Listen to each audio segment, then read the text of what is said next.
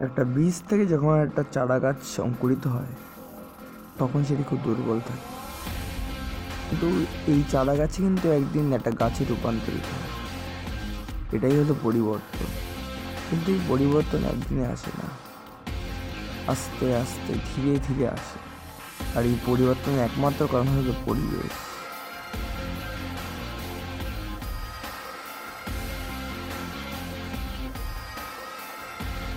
মানুষের জীবনে কিন্তু আর্টের সঙ্গে তুলনা করা যেতে পারে।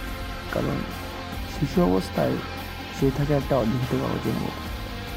এই কাগজে যা লেখা হবে, সে সেরকমই করে ওঠে আর এই কাগজে লেখার জন্য প্রেম হলো এই সমাজ। আস্তে আস্তে যখন এই শিশু আস্তে আস্তে বড় হয়, তার মধ্যে পরিবর্তন আসে। এই পরিবর্তনের কারণেই একটা শিশু পরিণত, মানুষে পরিণত হয়। কিন্তু এই পরিবর্তন সবসময় যে ভালো হবে তা নয়। খারাপও হতে পারে।